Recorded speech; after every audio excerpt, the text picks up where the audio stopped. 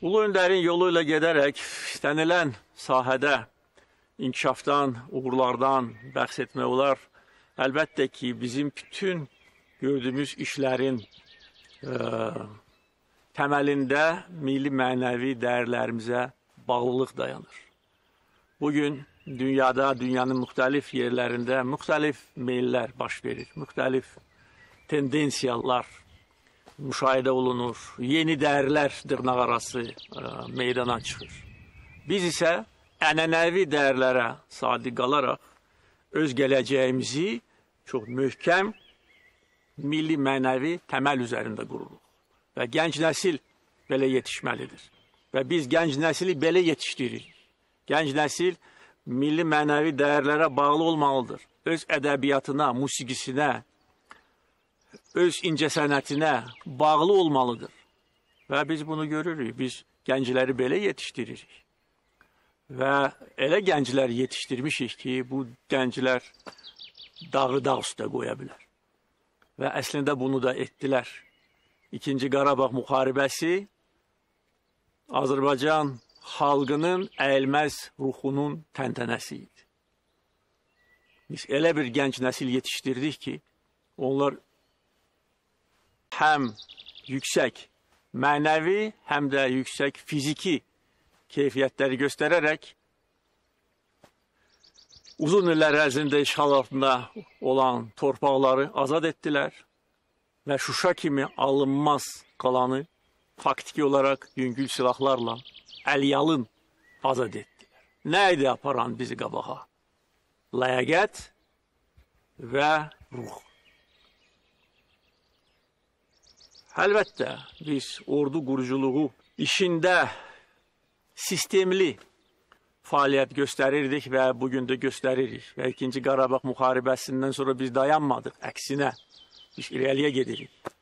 Və e, bu ilin dövlət büdcəsinə əlavələr edilərək bu əlavələrin böyük bir hissəsi yenə də hərbi məqsədlər üçün nəzərdə tutulur. Nə üçün? Çünki biz daima hazır olmalıyıq.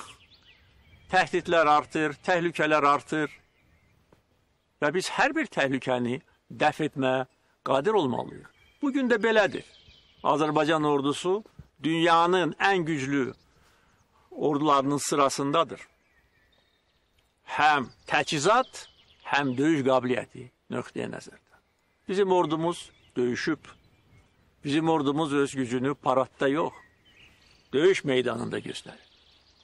Bir nəfər də olsun 44 gün ərzində geri addım atmayıb.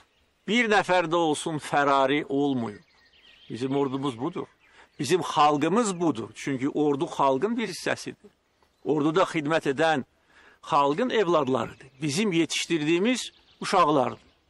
Biz belə gözəl uşaqlar yetişdirmişik ki, onlar düşməni burada Şuşada Əliyalın məğlub edib, düşməni torpaqlarımızdan çıxarıb bizim qürur rəmzimiz olan bayrağımızı bax bu binada bütün başqa azad edilmiş torpaqlarda qaldırıb ordu quruculuğu bu gün lazımi səviyyədə təmin edilir və bundan sonra da təmin ediləcəkdir.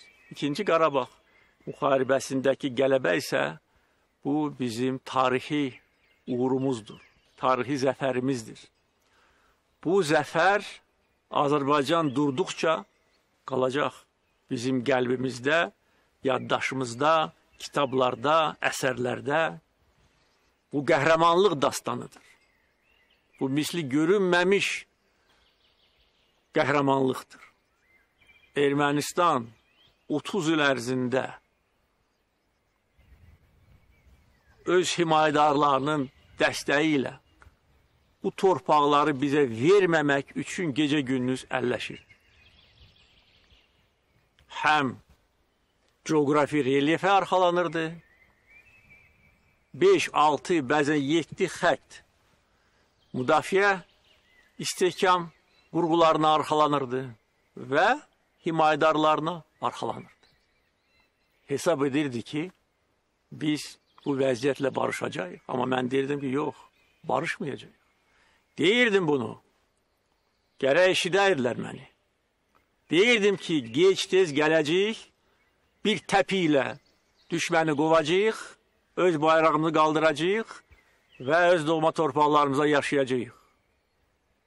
İkinci Qarabağ müharibəsi bütün dünyaya Azərbaycan xalqının əyilməz ruhunu göstərdi. Bizi qabağa aparan məhz bu idi.